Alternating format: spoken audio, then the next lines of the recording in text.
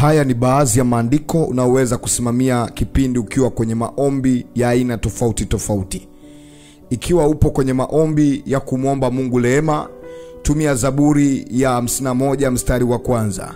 E Mungu, ni rehemu sawasawa na fadhili zako, kiasi cha wingi wa rehema zako uyafute makosa yangu. Lakini pia kitabu cha Isaya sura ya kwanza mstari wa 18, haya njooni tusemezane, asema Bwana, dhambi zenu zijapokuwa nyekundu sana, zitakuwa nyeupe kama theruji; zijapokuwa nyekundu kama bendera, zitakuwa kama sufu.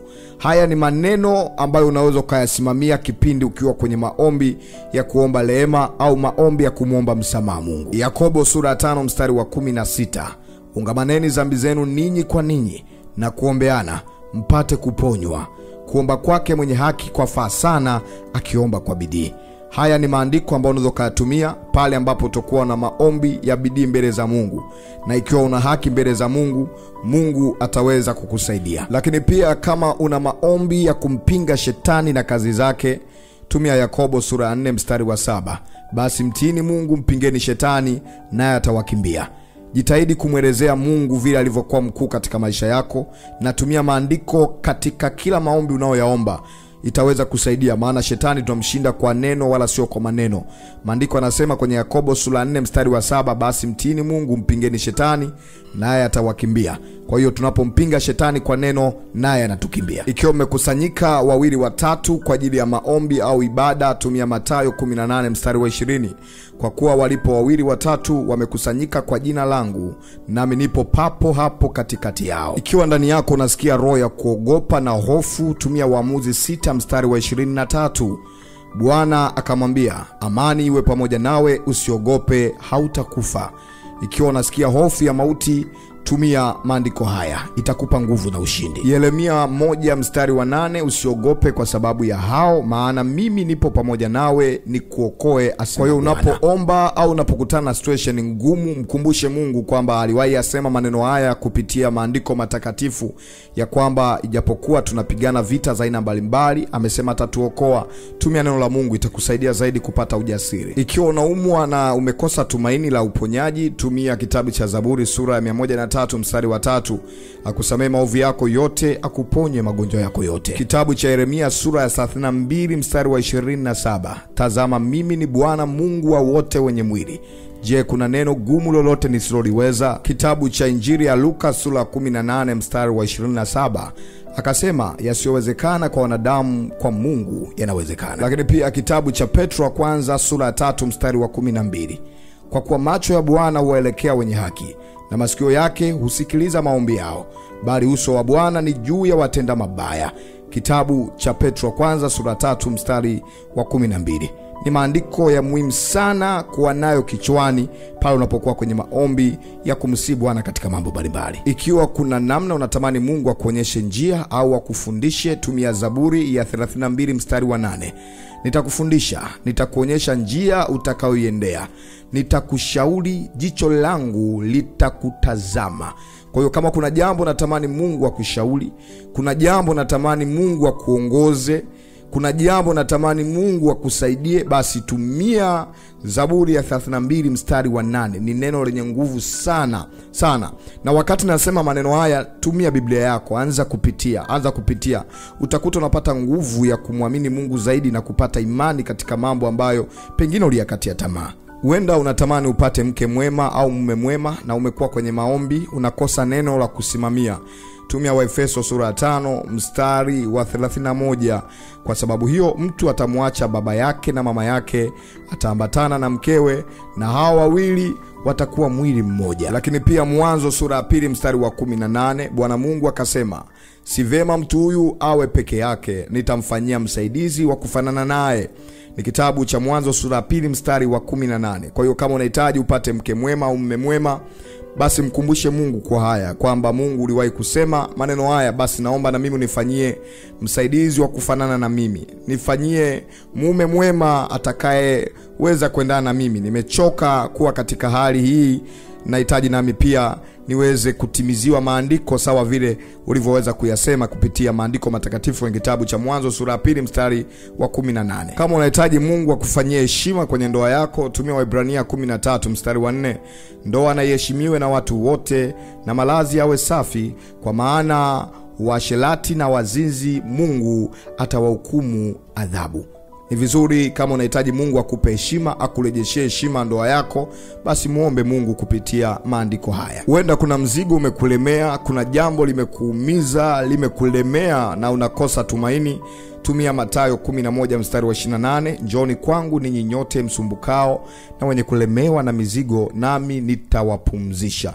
Tumia neno hili, mkumbushe Mungu kwamba kuna neno ambalo liwahi kusema kwenye Biblia kupitia Mathayo 11 mstari wa 28 ya kwamba njooni kwangu ninyi nyote msumbukao, nami nina mambo yanayonisumbua, nimekuja kwako kwa Bwana Yesu, ninaomba unijibu, ninaomba uyatimize yale ambayo uliyanena kupitia kinywa chako. Kama kuna mambo ya kiroho uyaelewi na ni kama yaeleweki eleweki, basi unaweza ukaenda mbele za Mungu kwa kitabu cha walaka wa kwanza kwa Yohana sura ya 4 mstari wa kwanza na kuendelea. Wapenzi, msiamini kila roho, bali zijaribuni hizo roho kwamba zinatokana na Mungu, kwa sababu manabii wa uongo wengi wametokea duniani. Mstari wa tatu, na kila roho isiyomkiri Yesu haitokani na Mungu na hii ndiyo roho ya mpinga Kristo ambayo mmesikia kwamba yaja na sasa imekwisha kuwako duniani. Ikiwa unapita kwenye majaribu mengi na unatamani umuoji Mungu kuhusiana na hayo majaribu, basi tumia kitabu cha Wakorinto wa kwanza sura ya kumi mstari wa kumi na tatu.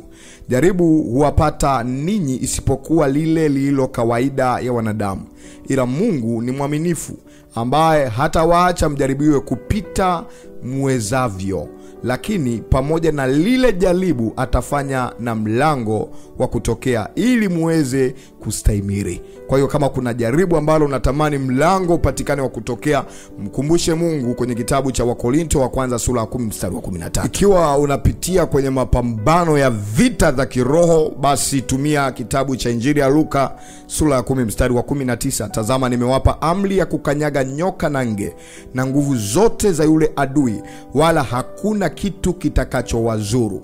Tumia neno hili kama unakemea roho za visasi na malipizi, kama kuna nguvu za giza ambazo zinataka zikuzuru, tumia neno hili kuvunja, tumia neno hili kupiga. Lakini pia tumia jina la Yesu Kristo katika kila jambo. Simama na kitabu cha Marko sura ya 16 mstari wa 17 na 18. Sikia kitabu cha Marko sura ya 16 mstari wa 17 na 18, na ishara hizi zitafuatana na hao waaminio wewe ndo unayeamini sasa. Kwa jina langu, yani jina la Yesu, watatoa pepo. Kemea pepo kupitia jina la Yesu. Watasema kwa lugha mpya, tamani kunena kwa lugha kwa msaada wa Roho Mtakatifu. Mstari wa 18, watashika nyoka, hata wakinywa kitu cha kufisha hakita hakitawadhuru kabisa. Wataweka mikono juu yao juu ya wagonjwa nao watapata afya. Kama unamwombea ndugu yako, unatamani aweze kuponywa, amini kwamba ndani ya mikono yako Mungu ameweka mamlaka, ikiwa tu umeamini kupitia jina la Yesu Kristo. Lakini pia kama umekula kitu ambacho haujakielewaelewa, ha, mtu aliyekupa hujamwelewaelewa, tumia kitabu cha Marko sura 16 mstari wa 18. Nimalize kwa kitabu cha Malaki sura ya tatu mstari wa kumi na kumi na moja. Leteni zaka kamili ghalani, ili kiwemo chakula katika nyumba yangu, mkanijaribu kwa njia hiyo, asema Bwana wa majeshi, mjue kama sita wafungulia madirisha ya mbinguni na kuwamwagia baraka hata isiwepo nafasi ya kutosha au la. Sasa kama unamtolea Mungu zaka kamili basi una haki ya kumhoji Mungu kwamba uliwahi sema Mungu ya kwamba tunapokutolea zaka utatufungulia madirisha mbinguni. Tafsiri ya kufungua madirisha ni kwamba baraka zinakuwa ni nyingi, maanake njia zinakuwa ni nyingi. Ndani ya nyumba dirisha inakuwa sio moja, huenda mlango ukawa mmoja, lakini unakuta madirisha yako mengi. Kwa madirisha ni, ni, ni njia mbalimbali za kukuingizia baraka.